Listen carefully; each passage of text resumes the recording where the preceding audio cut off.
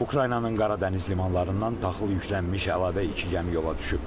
Pivdenidən yola düşən Sakura adlı gəmi İtaliyaya 11 min ton soya paxlası, Çernomorskdan yola düşən Arizona gəmisi isə Türkiyənin İskenderun limanına 48 min 458 ton qardal daşıyır. Ukraynanın infrastruktur naziri Aleksandr Kubrakov hər iki gəminin yola düşdüyünü təsdiqləyib və qeyd edib ki, razılaşmaya 3-cü Ukrayna limanı Pivdeni də daxil edilib. Liman artıq fəaliyyətə başlayıb. Nazir əlavə edib ki, bu limanın fəaliyyətinin bərpası ilə Ukraynanın ümumi taxıl ixracı qabiliyyəti aylıq 3 milyon tona çatacaq. Bununla da əldə edilmiş taxıl razılaşmasından sonra Ukraynadan yola düşən gəmilərin sayı 10-a çatıb.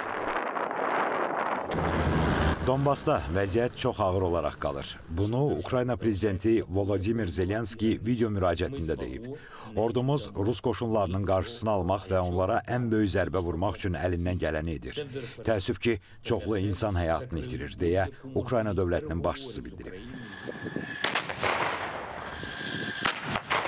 O əlavə edib ki, Rusiya qoşunlarının qüvvələrini cəmləşdirməyə çalışdığı Xarkov vilayətində və Ukraynanın cənubunda da vəziyyət ağırdır.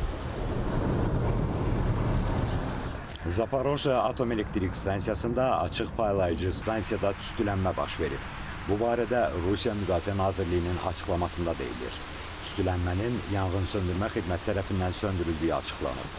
Rusiya Müdafiə Nazirliyi hadisənin Ukraynanın Margansk şəhərindəki mövqelərindən atom elektrik stansiyasına atəşə tutmasına görə baş verdiyini bildirib. Xatırladaq ki, Atom Enerjisi üzrə Beynəlxalq Agentliyin baş direktoru Rafael Grossi Zaporojye Atom Elektrik Stansiyasının tamamilə nəzarətdən çıxdığı barədə açıqlama vermişdi.